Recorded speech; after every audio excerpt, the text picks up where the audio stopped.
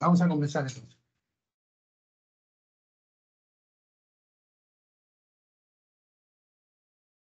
Bien, bien el tema eh, de mononucleosis infecciosa en realidad es algo que es aparentemente bien común, pero muy, a veces muy poco diagnosticado, ¿no? Realmente este, este tema, de verdad que hubiese sido bonito que lo presentara el día, el día, el día 14 de febrero. ¿Por qué, doctor, el día 14 de febrero? Porque la mononucleosis infecciosa en muchos países es conocido como la enfermedad del beso o enfermedad de los enamorados. Es una enfermedad infecciosa producida habitualmente, es una enfermedad infecciosa habitual y producida y es de, de forma benigna, habitualmente benigna y autorresolutiva, o sea, solo desaparece. Así que vamos a hacer un poco una revisión con respecto a este, a este virus y a esta enfermedad, como hemos dicho, muy frecuente, pero a veces muy poco eh, diagnosticada. Y algo interesante que mire, eh, muchas veces el virus eh, relacionado con la mononucleosis infecciosa es el virus de Epstein-Barr. un poco hablemos de este virus, es un virus herpes tipo 4, ¿no? tiene de genoma ADN, es un virus linfotrópico puede vivir varias horas fuera del cuerpo, pero por lo general, que más adelante cuando hablemos de la fisiopatología, es un virus muy sensible, no necesita algo vivo, no, no soporta temperaturas eh, eh, altas ni bajas y tiene, que, y tiene este, eh, peculiaridad por ciertas células y receptores. este virus en realidad fue descrito hace muchos años, ¿no? según la literatura dice que fue hace más de 45 años, 50 años fue descubierto y a través de la observación de la microscopía electrónica ¿no? sobre tejidos de pacientes con linfoma de Burkitt. ¿no? Esa fue la primera vez que se, eh, que se descubre este virus. Posteriormente, cuando hacen el estudio, se dan cuenta que es un virus ADN, ¿no? como bien se ha dicho, que pertenece a la familia Herpeviridae. ¿no? Eh, este virus, eh, para recordar un poco, vamos a ver, este virus, si ven esta forma, tiene una forma redondeada y está formada por una cápside icoesaédica, ¿no? integrada dice, por 164 capsómetros. En realidad es parte propia del virus, pero está básicamente cubierta por una glicoproteína en su parte más externa.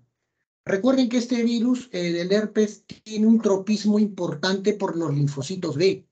Miren, las cuales se encuentran, y estos linfocitos B por lo general los que se encuentran en el epitelio de la cavidad oral, en el epitelio del cuello uterino, se ha detectado también en los conductos de las glándulas parótidas, ¿no? Y, miren que este virus eh, tiene una capacidad importante de originar infecciones latentes y muy persistentes en el tiempo. Eso es lo que más o menos se conoce del virus. Recuerden que en, un poco de epidemiología, este virus es un patógeno que se encuentra en todo el mundo dice que en la población casi el 80% del mundo ha presentado este virus, pero muchas veces pasa desapercibido. Por lo general eh, ataca a gente muy joven, eh, eh, niños, por lo general muchos son asintomáticos, pero el grupo más importante por la cual este, se describe mucho, ¿no? casi en un 95%, ¿no? son jóvenes justo entre los 14, 20 años, pero también en países, en países este, eh, con buena salud eh, pública en países este, mucho más desarrollados, se describen en edades más, eh, en edades más, este, ¿cómo le puedo decir? En edades más, en personas un poco mayores ya, 35 hasta 40 años, incluso hasta 50 años después, ¿no? Pero por lo general el virus se relaciona más en gente muy joven, ¿no? Especialmente en niños, casi no hay síntomas, y en la gente joven entre los 14, 20 y 25 años. Bien un poco de, poco de la etiopatogenia, vamos a, conversar un poco acá. Y miren que la infección eh, del virus de Epstein-Barr tiene lugar en forma mayoritaria por contacto de secreciones orales. Miren, por contacto de secreciones orales, principalmente la saliva, ¿no? Por eso cuando ponemos acá forma de transmisión, saliva, ¿no? Por ejemplo, y es por eso que dicen la enfermedad del yeso, la enfermedad de los enamorados. Transfusión con productos sanguíneos raro, casi no se ha descrito, pero está presente en la literatura, así como aquellos pacientes que han sido trasplantados de médula ósea, de algún órgano. Por relaciones sexuales no está muy claro descrito y de forma congénita tampoco. Ahí lo relacionan algunos, ¿no? Que aparece el epitelio uterino, pero en realidad son estudios muy alejados, no tienen mucha evidencia frente a esta forma de, infección. Pero la que sí, por lo general, está clarísimo es a través del contacto de saliva, a través de los besos que realmente se producen entre, parejas jóvenes. Eh, muchas veces eh, cuando hablan de la transmisión, eh, también se piensa o se cree que la transmisión se da a través de fomites, a través de aerosoles. En realidad no está formado de esa, no, no, está, no está descrita esa forma. La transmisión es a través de la saliva, de los besos, por ahí un eh, transmisión sexual, pero no se da bajo estas formas que algunas veces se tratan de ponerlo. Básicamente la transmisión del virus es vía orofaringe. Se acabó. Eh, otro dato eh, interesante es que una vez que los virus ingresan una vez que el, virus ingresa a la cavidad oral, en este caso, afecta en la entrada especialmente a las glándulas amigdalianas, a, las, glándulas a las amígdalas, y estas a través ¿no? de las células de los linfocitos B, a través de sus receptores y células epiteliales, producen la proliferación rápida del virus. Y es aquí que se producen los tipos o periodos de incubación. Hay un periodo rápido, agudo, como que presentan la mayoría de manifestaciones clínicas, ¿no? entre las dos y cuatro semanas, y una fase latente que dura entre cuatro hasta seis, hasta 90 días, dicen algunos, pero ahí la teoría, y otro dice que se mantiene de forma permanente. En realidad, el periodo agudo entre la segunda y cuarta semana son los periodos más descritos en la cual hay la proliferación y las manifestaciones clínicas que se producen por, por este virus. Entonces, eh, lo que sí es, tenemos que ver, este es el estado que mencionan de latencia, en la cual dicen que hay personas que pueden quedar con el virus y diseminar por largos periodos de tiempo. Algunos, eh, por el mismo sistema inmunológico, a veces se, encuentran asociados, eh, pacientes eh, asociados a enfermedades crónicas, pacientes asociados a neoplasia, ¿no? que pueden relacionarse con esto y, y ser portadores por largos periodos de tiempo. Pero por lo general, esta infección, una vez que se produce, puede llegar un periodo latente en el cual puede estar contagiando, pero por lo general no, presentan eh, manifestaciones clínicas que llamen mucho la atención. Por lo general, y es por eso que muchas de ellas pasan desapercibidas. Bien. Eh, hay que tener mucho cuidado con los síntomas, ¿por qué? Porque esto se confunde mucho y así vamos, aquí sí donde vamos a, a este, explicar bien y relacionarla con otras enfermedades. Muchas veces cuando uno describe sobre mononucleosis infecciosa, van a encontrar que en los niños son muy, muy asintomáticos. Muchos no lo presentan, de repente fiebre y por ahí no hay más. Sin embargo, los síntomas eh, que se describen mucho más es en la adolescencia. Y pueden ocurrir también en la niñez, pero como lo he dicho, muy, muy escaso y casi asintomático. Y acá viene el periodo importante de las manifestaciones que a veces las confundimos con los diagnósticos diferenciales que vamos a mencionar. Entonces, el niño o la persona, en este caso el adolescente, una de las manifestaciones importantes es la fiebre. Fiebre por uno hasta tres semanas. Mira, a veces uno encuentra este cuadro febril y a veces por un pésimo examen clínico, a veces uno no se da cuenta, no descubre la triada clásica. Cuando uno ve mononucleosis infecciosa, encuentra, dice, la triada clásica. Y esa triada se parece a muchas otras enfermedades. ¿Cuál es esa triada clásica? Fiebre, faringoamidalitis y adenopatía. O la famosa triada clásica que se manifiesta. Luego de eso se pueden asociar otras manifestaciones clínicas importantes, como es el rash dérmico, que ahora vamos a, mencionar, ¿no? La hepatoesplenomegalia, la fatiga, eso, ¿no? Pero eso en realidad hay que tener mucho cuidado, pero siempre la famosa triada es la que nos hace pensar de esta enfermedad viral diagnósticos diferenciales que ahora vamos a mencionar más adelante. Y miren, eh, ese virus, esas famosas eh, adenopatías que pueden estar en cadena cervical, en la occipital, submaxilar, eh, muchos de ellos pueden presentar faringoamidalitis y aquí viene un poco el cuadro diagnóstico diferencial. Tengan cuidado porque muchas veces los linfomas suelen presentarse así, o una amidalitis postestreptocócica tranquilamente también puede manifestarse de esa forma. Muchas veces también este virus, este virus de este o mononucleosis está relacionado al famoso síndrome de fatiga crónica, ¿no? que también lo vamos a comentar. Entonces hay que tener mucho cuidado con estos diagnósticos diferenciales y recordar siempre la triada clásica que nos han enseñado. Por ejemplo, esta es una amigdalitis eh, purulenta, ¿no? Eh, asociada a mononucleosis. ¿Y por qué? Porque muchas veces se sobreinfecta. Y eso hay que tener cuidado porque a la hora del tratamiento, cuando comentemos, ya vamos adelantando que estas enfermedades virales no se relacionan con antibióticos, salvo que estén en complicación, como la estamos mencionando acá. Bien, eh, ¿qué cosa? vemos el famoso rash térmico y tengan cuidado, ¿no? Muchas veces por el uso eh, muchas veces por el uso de algunos medicamentos como penicilinas, AINES, pueden producir estas reacciones eh, infecciosas, perdón, estas reacciones alérgicas y pueden confundir el cuadro. ¿no? Este, por ejemplo, es un rash dérmico asociado a mononucleosis infecciosa. ¿no? Bien, complicaciones.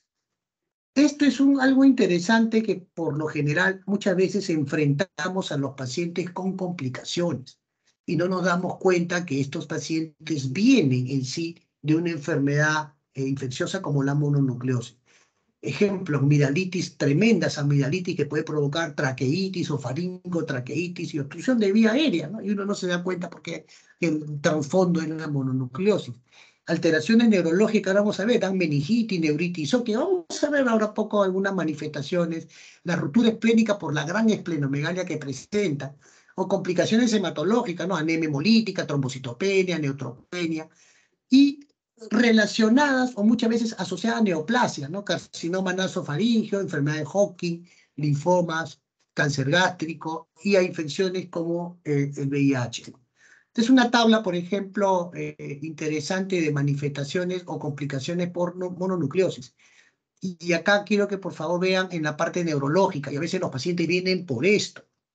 Ejemplo, encefalitis, meningitis, parálisis pares craneales, neuritis, mielitis, psicosis. Muchas veces son catalogados como, como eh, ese, eh, encefalitis autoinmune, ¿no? Entonces confunden en realidad si es que no hay una buena historia clínica en la cual empezaron con estas manifestaciones clásicas de triadas y posteriormente presentan estas complicaciones.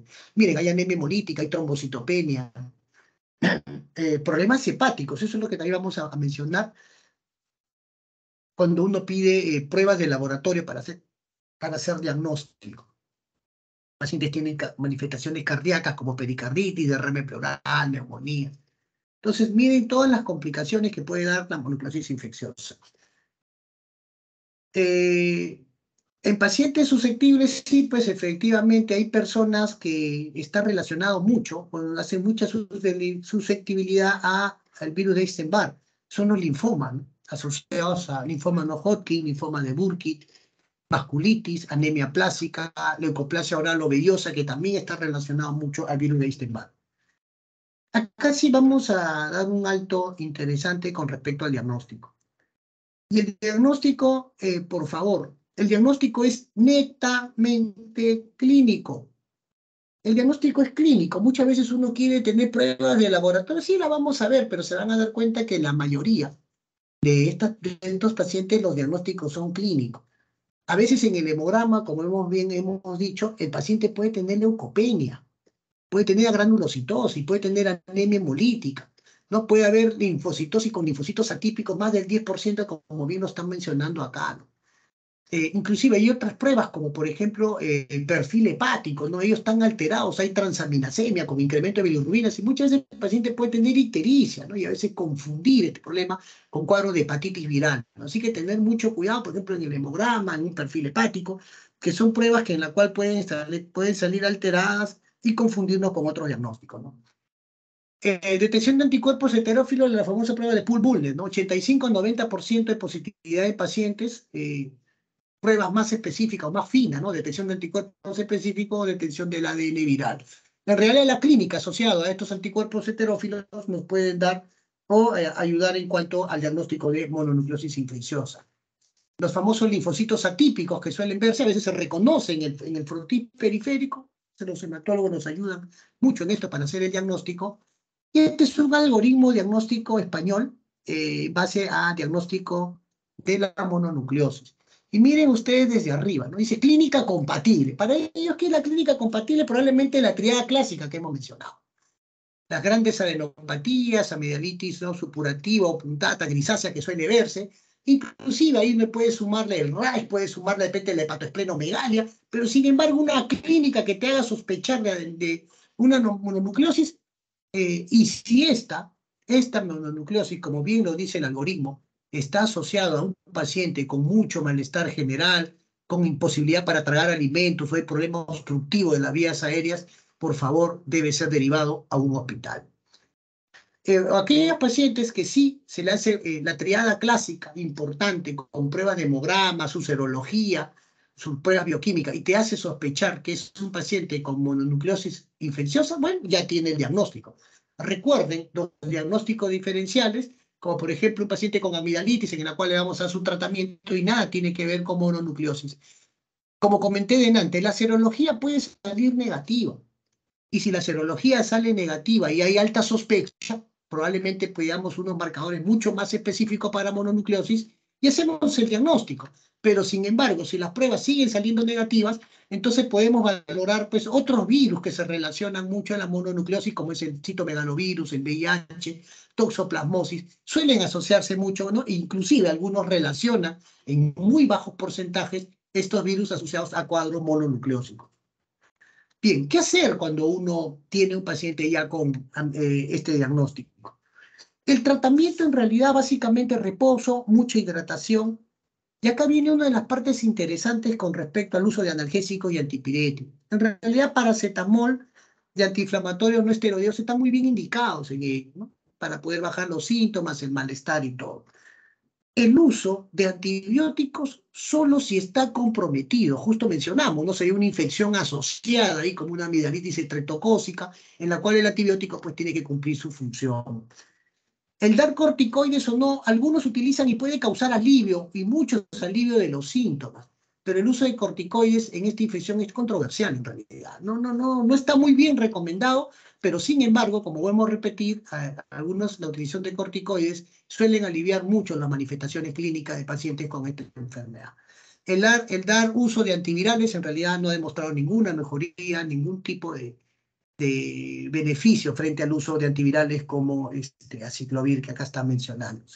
En conclusión, el tratamiento pues, es simplemente sintomático, reposo, evitar que el niño pues, eh, o el joven no esté haciendo movimientos bruscos, corriendo, saltando, porque una de las complicaciones, como bien mencionamos, es esplenomegalia y uno de los datos eh, importantes son la ruptura de estas que le puede llevar inclusive hasta la muerte. Muy bien, chicos, eso es básicamente lo referente a mononucleosis, un tema corto, en realidad eh, más informativo, eh, recuerden bien esta triada clásica que siempre nos han mencionado, las pruebas diagnósticas es netamente más clínico que de laboratorio, y el tratamiento pues basado mucho, basado mucho en sintomáticos como analgésicos, como, perdón, paracetamol u otro tipo de aire. Muy bien, este, eso es todo, la clase de la práctica, le voy a enviar la clase a la delegada, el nombre de la presentación, como también de la otra clase. Eh, coordinamos, falta una clase más, eh, lo coordinamos, de repente el lunes o martes lo hacemos y ahí terminamos. Perdón, este, ¿cuándo es el examen? A ver, por favor, dígame, ¿cuándo es el examen de infecto? Eh, doctor, es después de acabar las teorías, posiblemente el día viernes.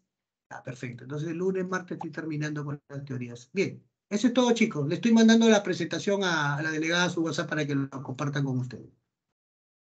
Está bien, doctor. La siguiente clase sería la de enfermedad diarreica. Eh, justo eh, quería conversar con el doctor Varas, él se ha incorporado, tiene un grupo, y me parece que a él se le ha encomendado ese tema. Ah, okay, eh, yo le dije justo, le dije, creo que le comenté a uno de ustedes que le preguntara, si no le voy a preguntar yo y el lunes le confirmo. Está bien, doctor.